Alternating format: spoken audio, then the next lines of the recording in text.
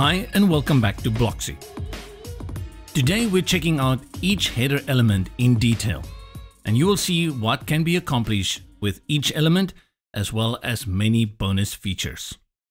Note that some of these elements might not be available for you if you're using the free version of Blocksy. And enough of that, let's get to the elements. First on our list is the account element. This one lets you give your users easy access to their account page and if they're logged out, an easy way to quickly get in or sign up for an account.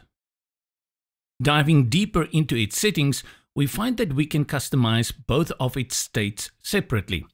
The options available depend on the state because not every option is relevant for both sides. For example, for your logged out users, you have an option to display a nice login register modal, while for your logged in users, you get access to things such as the profile page, dashboard, and so forth.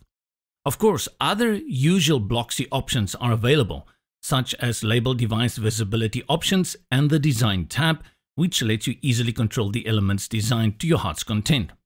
There are also some bonuses thrown in for our premium customers, such as CAPTCHA integration with supported plugins, WooCommerce registration form support, and more.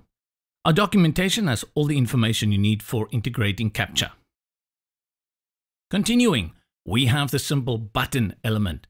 Its settings are a little bit different, but you get two design choices, size controls, the button label, action, even an icon control. And with one of our latest updates, we even added the ability to add additional CSS classes to the button, meaning that plugins that require some specific classes to let the user interact with the site will work flawlessly now. No more JavaScript hacks. And of course, you are able to trigger any pop-up created via our content blocks feature. If you need more information on this, feel free to watch the pop-ups introductory video. The cart element will be presented if WooCommerce is installed and activated. This time, you get six design choices and the rest of the usual Blocksy controls. For the cart drawer section, Blocksy Pro users get an additional design type, a side cart view. And a little bonus, you also get quantity controls available for the Type 2 look. The Design tab is also easily accessible for all of your customization needs. Contacts is a super easy way to give out your contact information to your visitor. You can add things such as the address of your business, phone numbers, email, and more. Pretty useful in a flash. The divider element is pretty self-explanatory it lets you add a divider design element to separate menu sections where it makes sense. With the HTML block, the fun begins. It lets you add any kind of custom HTML, CSS, and JavaScript code, and even shortcodes. Very powerful when in the right hands. The languages element will only be present if Blocksy detects that you have a multilingual plugin installed. Here you get two options for design, as well as icon display choices and the design tab. Simple stuff here. And a logo is important for every website. So that's why this element lets you do just that. Add a logo to your header. Depending on the header features you have enabled, you might see more than one place to upload your logo. You can easily upload different logos for each state of the header, giving you unlimited options basically. Size controls are a must, so we tick that box here. Sticky State Shrink is an interesting option as it lets you make the logo smaller when the header transitions to the sticky position. This lets you compact the header for a broader view of your content.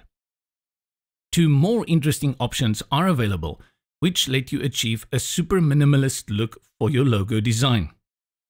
You can enable a combination of these two options and completely ignore the logo part.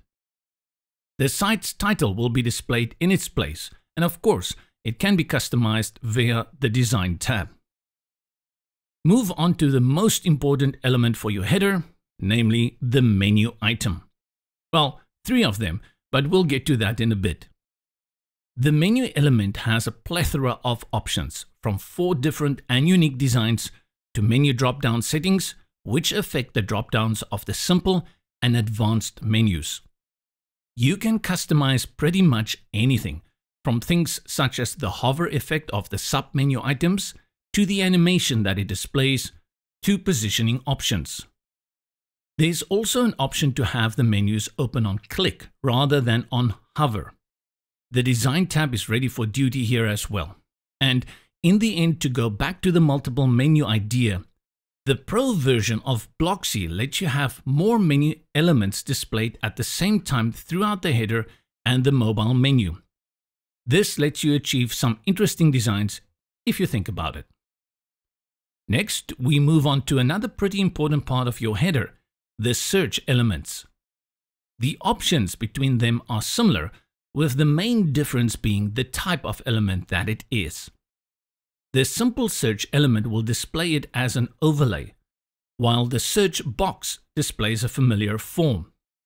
The most important setting here to remember is the search through criteria. It lets you select the types of search results you want. You can limit the query to just posts or products important if you have an online shop. And let's not forget that we also offer a live search functionality which displays results in real time as you type, very useful for more dynamic searches. Socials is a simple way to display your social network connections on your header. Super simple to configure with a boatload of network options. Social network accounts can be added via the Customizer, General, Social Network Accounts section.